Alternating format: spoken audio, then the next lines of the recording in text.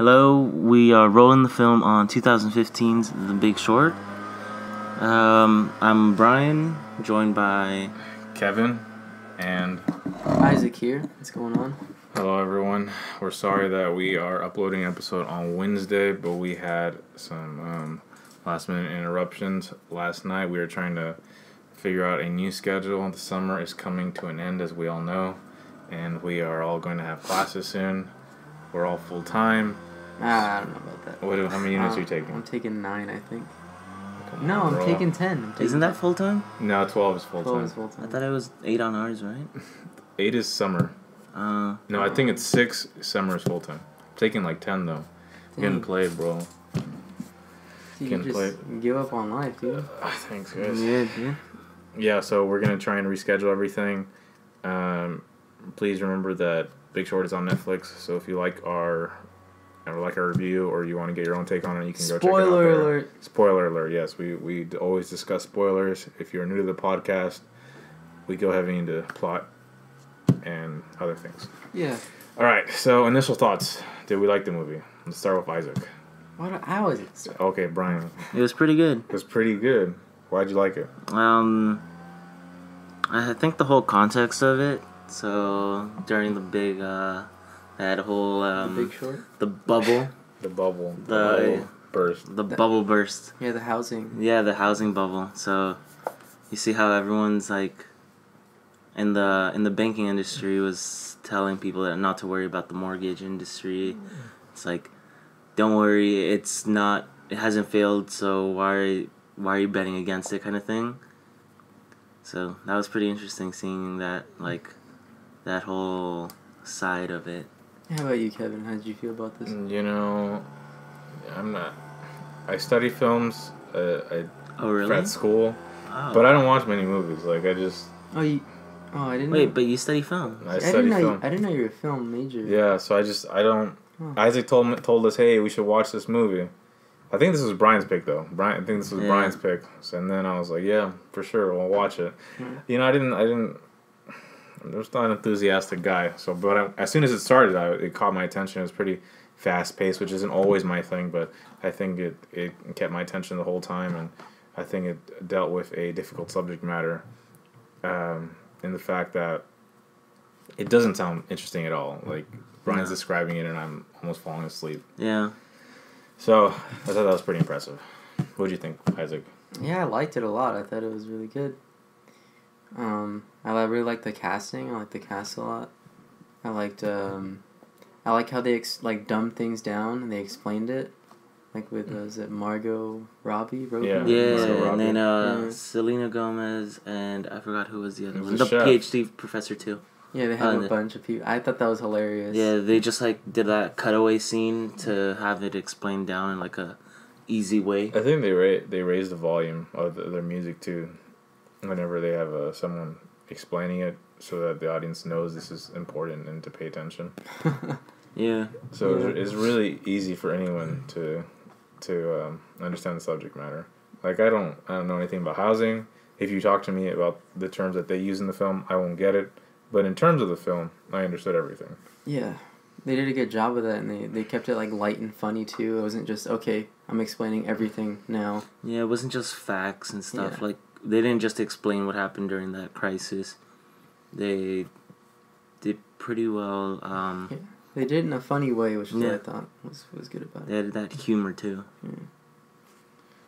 what I felt in what I what I think of so whenever I look at the f- a, a movie I just tell myself like is this forced is this does it break the flow of the film and I think this movie does but it's one of those rare exceptions like everyone always says in film um, show don't tell right but in this movie they do the exact opposite they al- they're always telling so that they can continue to move on with the plot what do you guys think about that those sort of uh, interruptions Yeah, that I think that's what I, I liked about it. How they explained everything. Otherwise, you wouldn't have understood. Yeah, because um, they they go off into like a tangent about how this whole thing, like with um, the mortgages being like AAA or like A B or whatever, and at first you're just like, what do these mean to me? Like know, they don't the really. is that? Yeah, it's like it doesn't matter to me. But then they go in and they like break that whole that whole um structure for a sec and then just go in and say like all right so this is how what they actually mean and it kind of gives you like that it clarifies it pretty well so thought that was pretty good so that way the viewers aren't really confused and don't just dismiss it as something that's not important like if they don't understand it they don't have to worry about it so thought it was uh, pretty well done though What threw me for a loop was uh, the fact that I think it's introduced with. Uh, whoa, whoa, we're getting interrupted here. whoa barely waking up Pardon the interruption. What I thought was uh, pretty interesting was the fact that uh, the concept and the uh, setting is introduced by the narrator, played by uh, Ryan Gosling. mm, yeah that's true And I thought he was gonna, you know, play um, like a figure that doesn't really interact with the main cast. He was just gonna explain it to that's us, what I as thought sort too. of, sort of like the Margot Robbie or the Selena Gomez. Like they're gonna break it down for us. Yeah. But no, he's introduced later on in the film, which I thought was pretty interesting. I think there's a lot of rules that they play around with. Oh, yeah, because uh, there'd be times where he breaks the, basically breaks the fourth wall and talks to the audience, and then he just jumps back into like that whole, uh, that whole storyline again. Who's the director for this actually? It's Adam McKay. I, what else has he done? I don't think Let's I've let's look it up. He has done. He's done Anchorman. Oh, Step Brothers. Dude, this guy's a Hey. legend. Yeah, this guy's Talladega Night? Damn. Dang, this is I, I haven't Oh, seen. Ant Man. this guy's on fire. He's doing it all. We're looking up his IMDb page. Step Brothers seems like his, uh, His magnum opus. yeah. He's on pre-production for a TV movie. Apparently, man, this guy's does SNL. Oh, the landlord. Did you you guys know about that? Where? is it? No. That's like the one where with Will Ferrell, right? Oh, yeah, yeah, yeah. And like uh, the little kid. I thought that was hilarious when I first saw it. Really? Haven't, haven't Yeah. seen it. Very interesting. We did not know that. Yeah, I didn't know This that. guy, either. this guy's doing it all. He's doing well. Yeah. So let's talk about the editing and pace of the film. We already kind of uh, brought this up, but it's um, Fast pace. Very fast paced. Yeah. you guys ever find that distracting at all? Uh, not in this film because I felt like that's what it's about. Like the whole The holy, um, the crash, right? yeah, Just the whole being thing. pretty Everything fast, happened too. so fast. I think it's kind of conceptual in a way that they made it fast, especially their lives. Like that, the Steve Carell character, everything he has has to be fast for him. You know. Right. I thought that I when I think about fast editing, I think it's like a it's a tricky it's a tricky thing because sometimes it just feels too forced. Like sometimes like when I was watching Moulin Rouge, I remember I was I was kind of was getting bored of it. Not Yeah. bored, but I was getting uh, kind of annoyed that it just kept cutting and cutting. Yeah, I hated that. Mm. So like I would just like as as a game I play every time I watch a movie, I'll just I sometimes count how long each each uh How many each cuts scene. there? Yeah, Yeah. I'll count how long it is, and I think the longest in that movie was like 14 seconds. Is what I got. Oh Really? Jesus! Damn. Yeah, it's kind of. Wow. Um. Yeah, I didn't do it for this movie because I did. I was kind of sucked in the whole time. I wanted to really know what was going on. So I think Mhm. that's a that's a sign of good filmmaking there. What do you think, Brian? With this pacing, Yeah. it's pretty good. Um, I got really, um, I was really focused into this one, so I didn't really notice much of it. So it was just like being absorbed by the movie. Because most of the time, it's like if the movie is is too slow or too fast, it's like you can get kind of distracted with it to the point where you just lose attention every once in a while. But with this one, it was like full attention. So Full attention. the whole yeah, so it was uh, it was pretty well done with its pacing. So I think we're all fans. Yeah. Yeah, I liked it a lot. It's great. So um, I think our the first podcast we did American Psycho, right? Yeah. And we're back. We're back Yes. to we're back to Bale. Back to the Back. Back to to the Bale. What do we think of an older Bale here? He's brilliant. He's Brilliant, brilliant, dude. again. Yeah. It's pretty well done. I think his work was pretty good in this. I looked up a, a clip of the guy he plays. I think it's um, was it Barry? His last name Oh is Barry. yeah, yeah, something like that. I'm looking it up. Do-do-do-do. Michael Burry. Sorry. Burry. Sorry, Oh, close, close enough. But uh, yeah, he, he acts just he ca he does like a, a pretty good impression of him. It's not it's not spot on. He kind of does his own take. And I thought a lot of the characters they uh, they all like to exaggerate their points, which makes it easier for the audience to understand. Whereas Christian Bale is very um, calculating, very quiet, kind of a reserved guy. He just kind of Mhm. sticks to his headphones and listens to Metallica. If you listen, if you watch that first scene, all the bankers, or the, first time he goes to banks, this the uh, the- all of the bankers are uh, are just a, juxtaposed to him. So like there was one, um, I think the first one there was a lady, there was Oh, a dude, the right? There was uh, three dudes in the Indian? two dudes in the office. Um, but the one that made the Yeah, initial yeah. deal was the lady and, And the they seemed Indian really dude. cocky. They seemed really arrogant. Yeah. They seemed Because uh, they uh, they told him that every time, every year, they'd have to charge him some sort of price for holding those. yeah like a premium. Yeah, that premium, and so they felt kind of cocky because uh, he was willing to pay that premium, and they were sure that the the market wasn't gonna crash, so they were just uh, they just thought that he was gonna keep paying a premium until he he kind of run out like But he made money. yeah Uh, same thing with Steve Carell. He's really he's really contrasted with all the bankers and big business businessmen he um, confronts. He's just a really angry dude, and really um, pessimistic, just like his whole company is or his whole firm. While every other banker is kind of calm and suave and Yeah. just kind of uh, Mm, jerks. Yeah. hmm Well, he is kind of like a jerk too. I think he's a he's a he's an everyman. He's an everyday sort of jerk where he just kind of he's he's we all know that that one guy who's really angry all the time and he just kind of makes a scene for everything. But I but they they do they make an effort to show that he is a likable guy. with- Yeah. And they keep bringing up his brother's death. Yeah. that it's- and the fact that he always um i think it was when during that there was a scene where he was talking to another banker about the whole uh the way that they run the policies too and it made him seem more um likable by the fact that he doesn't just like do it for the money he actually has that kind of thing where um where was it he would get mad at people that um that were fake or doing all this other like bullshit stuff so What do we think about a such a star-studded cast? Do they like do they handle everything well? Are some characters off to the side? Are Uh, one balanced? I feel like it was really balanced. I don't think any one character really took over and just dominated. I think uh, it was really well balanced.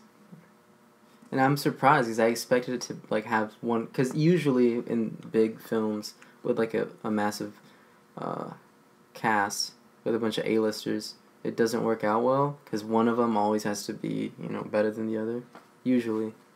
Um, but they did a good job. I liked it. It was pretty good. I think the the Brad Pitt, Brad Pitt character, he's off to the side, but it, it's for it's for a reason Mm. where he Yeah. doesn't want to be interested in Yeah. in the whole scenario at all.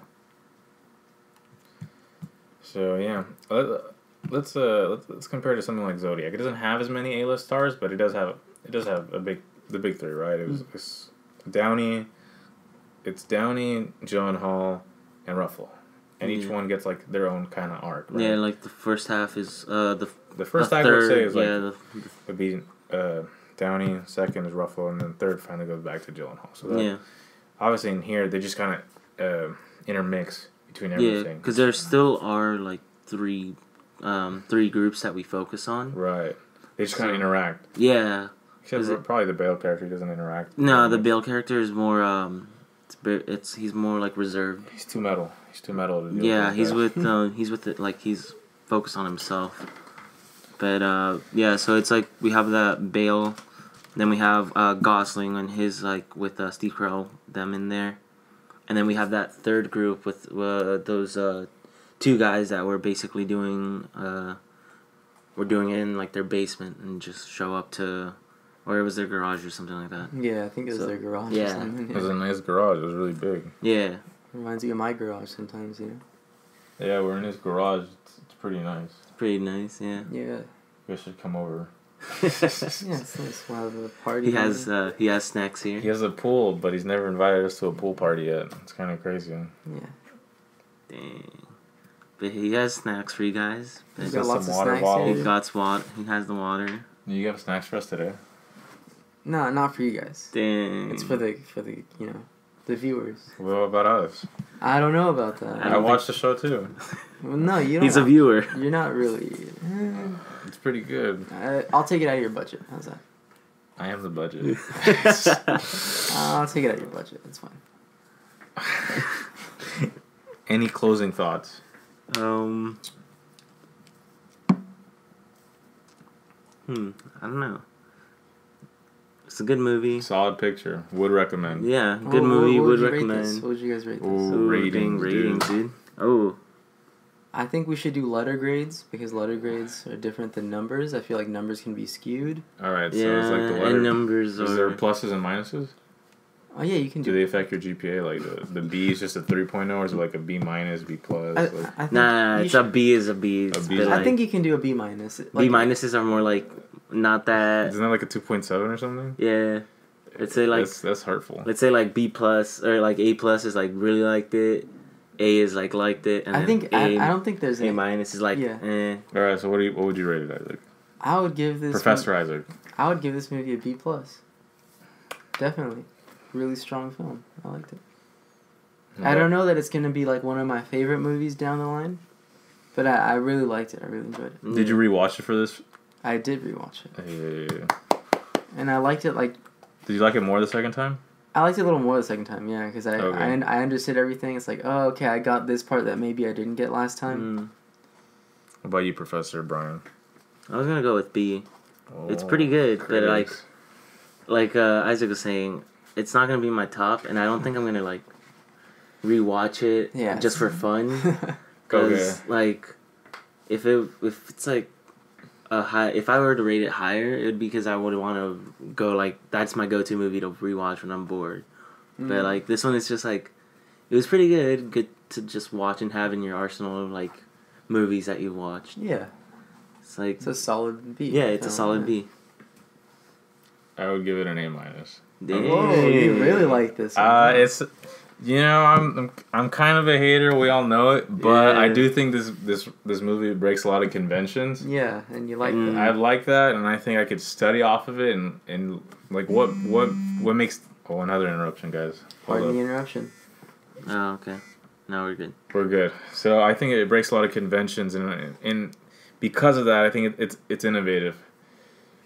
Its editing style doesn't seem to bother me. Its its use of exposition doesn't seem to bother me.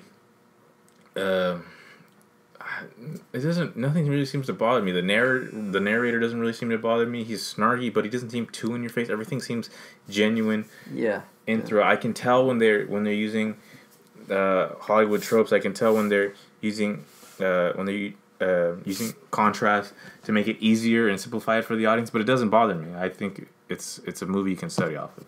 Yeah, definitely. So I'm really surprised I got I gave the highest rating. We should keep giving these ratings. I think it was fun. That was funny. Yeah, definitely. I mean, we haven't we didn't do it for the other ones, so that kind Hey, of. what do, what do we give Zodiac? I give Zodiac an A minus, definitely. I was gonna go B plus. I was gonna go B plus. Wow, really? Yeah. I like Zodiac a lot though. I, I watch I, I- like watching the movie. I- Yeah, I like it's, uh, them watching it more than The Big Short, but I think you can learn a lot from from The Big Short. I see what you're saying. Yeah. I mean, for him, yeah, that that makes sense.